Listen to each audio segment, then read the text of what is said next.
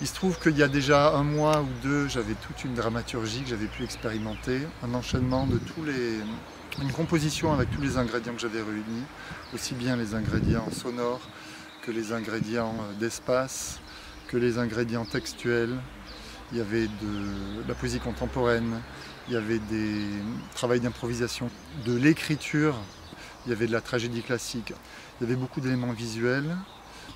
Et c'est une sorte de monstre qui maintenant nous accompagne, qui prend de plus en plus de place. Il est un, il est un peu gros d'ailleurs, il est un peu maladroit, il n'est pas très adapté à notre monde.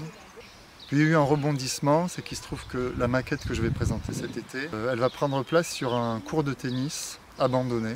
Et pour moi, le cours de tennis, ça représente une espèce de grande cage grillagée.